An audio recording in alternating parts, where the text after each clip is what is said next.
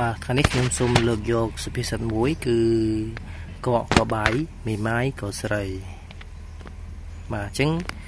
សុភាសិតនេះមានន័យថាយ៉ាងម៉េចអញ្ចឹងខ្ញុំសូមបញ្ចូលមួយមួយសិនបាទកកក៏បាយបាទតើកកក៏បាយមានន័យថាម៉េចអញ្ចឹងអ្នកទទួលទានបាយកកមកពីគ្មានបាយក្តៅបើមានបាយក្តៅមុខជារុញបាយកកចាញ់ព្រោះបាយក្តៅយ៉ាងណាក៏ឆ្ងាញ់ជាងបាយកកដែរម្លោះហើយ ចេះតែទទួលទានទាំងបង្ខំចិត្តទៅប៉ុន្តែដើម្បីលើកទឹកចិត្តខ្លួនឯងក៏និយាយថាបាយកកក៏បាយដែរឆ្អែតដូចគ្នាឯមេម៉ាយក៏ស្រីអញ្ចឹងអ្នកដែលយកប្រពន្ធមេម៉ាយពុំមែនមានន័យថារកប្រពន្ធកមុំពុំបាននោះទេប៉ុន្តែមកពីមានកត្តាផ្សេងផ្សេងជាច្រើនដូចជាស្ត្រីមេម៉ាយខ្លះមានរូបរាងស្អាតស្រស់ប្រំប្រៃ